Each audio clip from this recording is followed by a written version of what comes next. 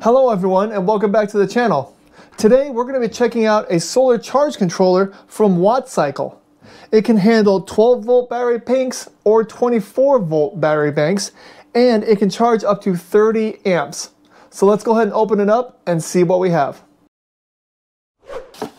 Okay, when you first open it, you have a little bit of styrofoam, the user's manual, a, uh, a template so you know where to drill to install it if you're going to be installing it like on a wall. All right, and then we have the solar charge controller, and it looks like we have a temperature sensor right here. All right, so here is the WattCycle MPPT solar charge controller. Um, you can see that it says WattCycle at the top. Uh, 30 amps, that is the maximum amount of charge that it can give your battery. Um, it does say down here that the maximum charge current is actually 40 amps, so that's kind of confusing. But I would just say that 30 amps, uh, that's what you can expect for your max charge. Uh, it is an MPPT, that stands for multi-power point tracking. Uh, that makes it so it's like 25 to 30% faster than a PWM solar charge controller when it comes to being able to deliver power to your battery. Uh, it is a 12 volt and 24 volt variety, so you can use either a 12 volt bank or a 24 volt bank. Um, down here, you can see that there are your screw terminals for each of your wiring configurations. Uh, right here is going to be your solar panel. This is where you connect your solar panel up, your positive and negative. Here is your battery, which is also your positive and negative. And if you decide to connect a load directly to this solar charge controller, you would connect that here. And it recommends don't go any higher than a load of 20 amps. You also have a small display up here that will see what's going on once we connect a battery. And we have some lights right here that show uh, pretty much what's active at the time. On the back, you do see that we have a pretty beefy heatsink along with some uh, screw holes to be able to hang this thing on a wall. I'll go ahead and put the dimensions and the weight right down here for your reference. And also on this front side, along with the wiring uh, screw downs, you have a temperature port so we can connect a temperature gauge to it, actually a temperature sensor. And all that does is it monitors your, uh, like your, your lead acid batteries and if they're too cold, I think it rises the voltage up a little bit. And if it's too hot, it lowers it.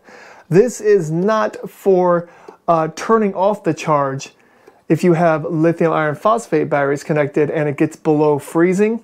This, this is not made to do that. Um, and then it has an RS485 uh, communication port right here. And that can be either connected to like a display unit that's sold separately or I believe you can buy two of these and have a parallel cable uh, going to each one so they actually communicate with each other. All right, so let's go ahead and connect a battery to this and see what we see. All right, and we're gonna go ahead and connect this solar charge controller up to this 12 volt battery. And what we're gonna be using is M8 ring terminals for the battery. And uh, on the other side, there's gonna be ferrule plugs on the other side so we don't have a bunch of stray wires going everywhere.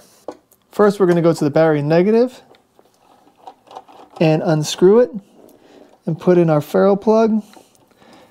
Screw it back down. And make sure you screw it down real tight because you do not want these things to really move around.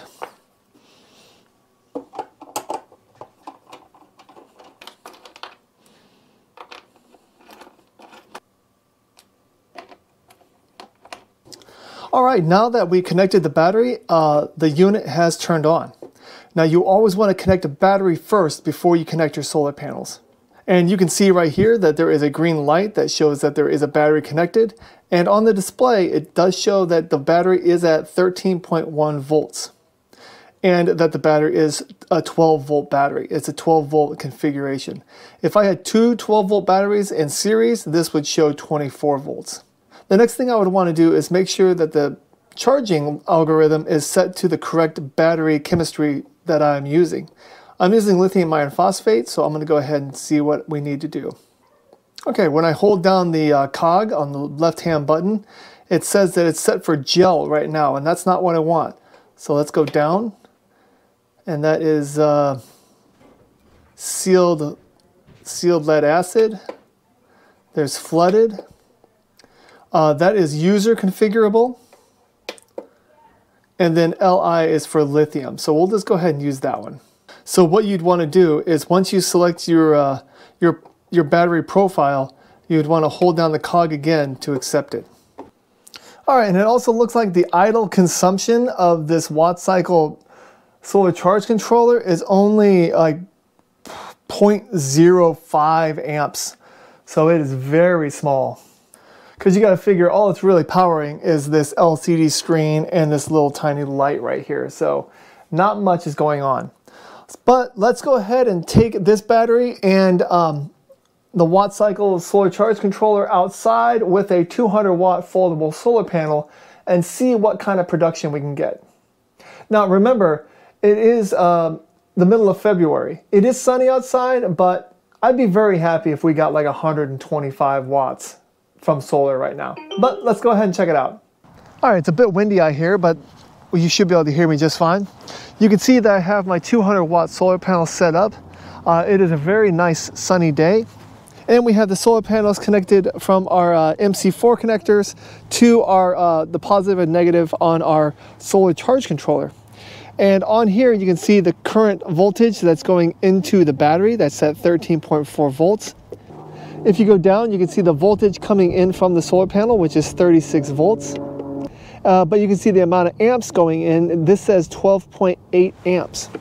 If you look at the actual app for the battery, um, you can see that we're actually getting 165 watts coming in, and that is uh, 12.4 amps at 13.4 volts. So this is a lot better than I was expecting. All right, so overall, a pretty easy piece of equipment to use.